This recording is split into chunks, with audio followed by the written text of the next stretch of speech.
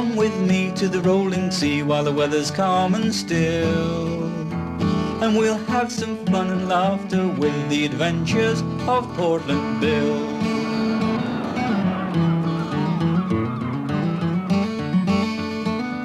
It was Cromarty's turn to tidy up the paint room.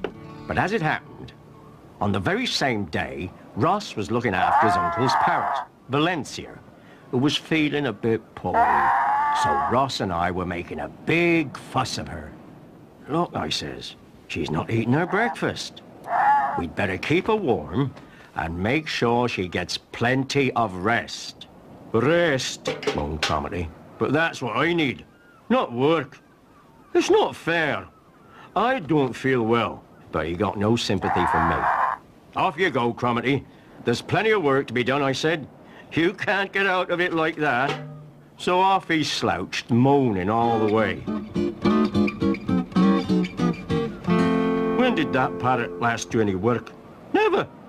But when she's a bit poorly, it's, uh, oh, see here, take the armchair, have a rest. But it's a different story when it's me, assistant keeper Cromarty, engineer, grade two.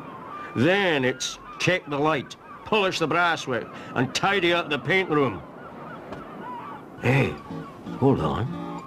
Paint. Well, the next thing we knew, Cromarty staggered back looking proper poorly. Suffering swordfish! cried Ross. Look at all those spots on Cromarty's face. Spots? said Cromarty innocently. Oh, I've probably caught some dreaded disease from your uncle's parrot, Ross.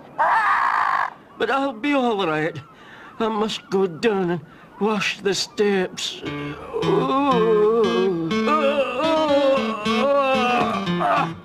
Well, blow me, I thought. He's fainted. It didn't look at all good. Quickly, Ross, you get him to bed, and I'll make him a nice hot cup of tea. And cake, groaned Cromarty.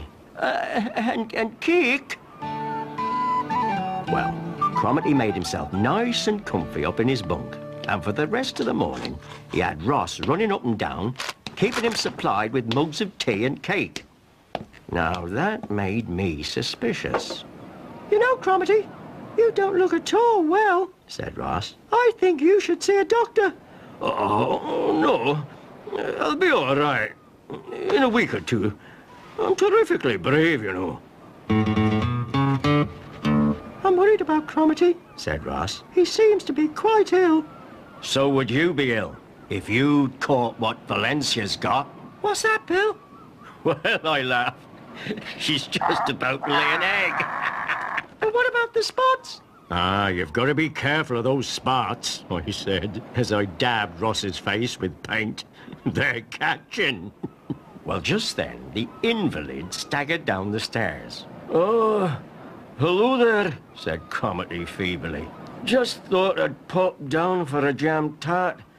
Must keep my strength up. Don't worry. I understand, I said, playing along with his little game. You'd better sit down for a minute, Cromarty. I've discovered what's wrong with you. And I opened up a big black book. Now, Cromarty began to get worried. Uh, well, uh, well, what is wrong with me? Parrotitis. That's what it is. Parrotitis. It's all written down here in this book. Headaches, big red spots, and a longing for tea and cake. Aye, aye, that's it, cried Cromarty. That's what I got.